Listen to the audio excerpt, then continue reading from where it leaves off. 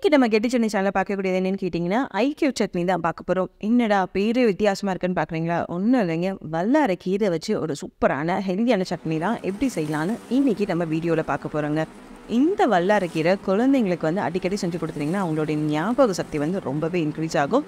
IQ லெவலும் வந்து பயங்கரமாக அவங்களுக்கு வந்து நல்லா இன்க்ரீஸ் ஆகுது. நீங்களே பார்ப்பீங்க. ஸோ இந்த சட்னிக்கு வந்து ஒரு கட்டு வல்லார கீரை அரை முடி தேங்காய் துருவல் கொஞ்சமாக புளி காரத்துக்கு ஏற்ப பச்சை மிளகா உப்பு.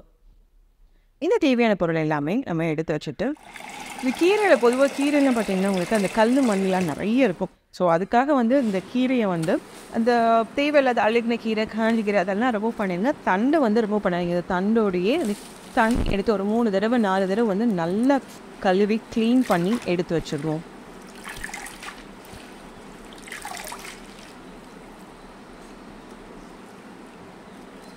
ஸோ இப்போ நல்லா நம்ம அந்த கீரையை வந்து க்ளீன் பண்ணியாச்சு. அதை இந்த மாதிரி ஒரு பாத்திரத்தில் எடுத்து வச்சு அது கொஞ்சம் நேரம் ஆகட்டும் அதுக்கப்புறம் வந்து ஒரு கடாய் எடுத்து அந்த கடாய் வந்து நல்லா சூடாகட்டுங்க.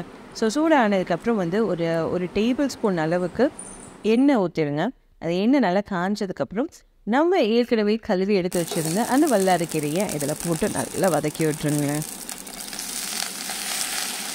பொதுவாக இந்த கீரையை வந்து வதக்கும் போது அதோடைய கலர் வந்து சேஞ்ச் ஆகிடும் நீங்கள் நிறைய நோட் பண்ணியிருப்பீங்க அது வேக வைக்கும் போது இல்லை கூட்டு இந்த மாதிரி பண்ணும்போது பார்த்திங்கன்னா அந்த கீரையோடைய கலர் வந்து மாறிடும். ஸோ அந்த மாதிரி மாறாமல் இருக்கிறதுக்கு என்ன செய்யணும்னா அந்த மாதிரி வதக்கும் போதே ஒரு ஜஸ்ட் ஒரு ஒரு பிஞ்ச் அப்படி இல்லைன்னா ரெண்டு பிஞ்ச் ரொம்ப போட்டுறாதீங்க. அந்த அளவுக்கு வந்து சர்க்கரையை மேலே தூவி விட்டுருங்க. தூவி விட்டுட்டு அதையும் சேர்த்து வதக்க ஆரம்பிச்சிட்டிங்க அப்படின்னா அந்த கலர் வந்து அந்த கீரையோட கலர் அப்படியே உங்களுக்கு ரீட்டைன் ஆகும். கொஞ்சம் கூட மாறாது.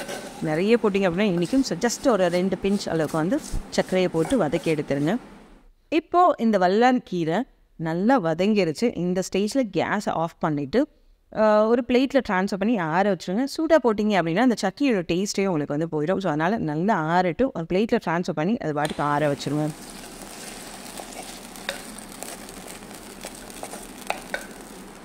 ஓரளவு நல்லா வதங்கினதுக்கு ஆறுனதுக்கப்புறம் ஒரு மிக்ஸி ஜாரில் தேவையான அளவு பச்சை மிளகாய் நான் வந்து ரெண்டு பச்சை மிளகாய் யூஸ் பண்ணினேன் நீங்கள் குழந்தைங்களுக்கு கொடுக்குறதுனால எந்த அளவுக்கு காரம் தேவையோ அந்த அளவுக்கு அதுக்கு தகுந்த மாதிரி நீங்கள் வந்து பச்சை மிளகாய் ஆட் பண்ணிக்கோங்க.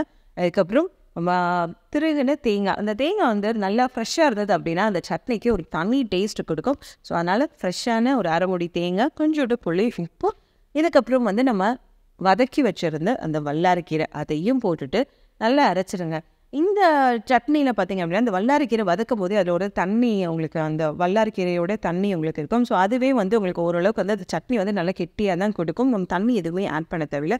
இன்கேஸ் உங்களுக்கு அதுக்கு மீறியும் வந்து உங்களுக்கு பார்த்திங்கன்னா நல்லா கெட்டியாக அந்த மாதிரி இருக்கும். ஸோ இந்த மாதிரி வேண்டாம். இன்னும் கொஞ்சம் தண்ணி வேணும் அப்படின்னா ஒரு கால் டம்ளர் குறைவாக வந்து தண்ணி ஊற்றி அரைச்சி எடுத்துட்டிங்க அப்படின்னா இந்த சூப்பரான வல்லார கீரை சட்னி அப்படின்ட்டு ரெடியாக இருந்தால் இந்த வல்லார கீரை சட்னியை வந்து நீங்கள் இட்லி தோசை சப்பாத்தி ஏன் பிரெட் ஸ்ப்ரெட்டாக கூட நம்ம யூஸ் பண்ணால் அவ்வளோ டேஸ்ட்டாக இருக்கும்.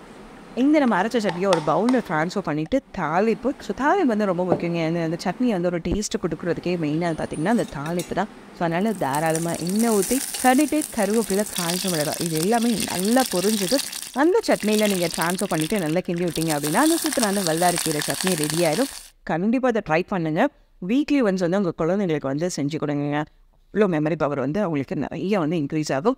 இதே மாதிரி இன்ட்ரெஸ்டிங்கான சட்னி ரெசிபிஸ்க்கு மறக்காமல் கெட்டி சென்னை சேனலை ஃபாலோ பண்ணுங்கள் உங்கள் ஃப்ரெண்ட்ஸ் வேறு யாருக்கா தேவைப்பட்டுச்சுன்னா கண்டிப்பாக அவங்களுக்கும் ஷேர் பண்ணுங்கள் இப்போ தான் கெட்டி சென்னை சேனலை ஃபஸ்ட் டைம் பார்க்குறீங்க அப்படின்னா மறக்காமல் சப்ஸ்கிரைப் பண்ணி பக்கத்தில் இருக்க பெல் ஐக்கானை கிளிக் பண்ணுங்கள் அப்போ தான் எந்த சட்னியும் உங்களுக்கு மிஸ் ஆகாமல் உங்களுக்கு எல்லா ரெசிபிஸும் வரும். ஸோ மீண்டும் ஒரு அடுத்த சட்னி ரெசிபியில் சந்திக்கலாம். நன்றி.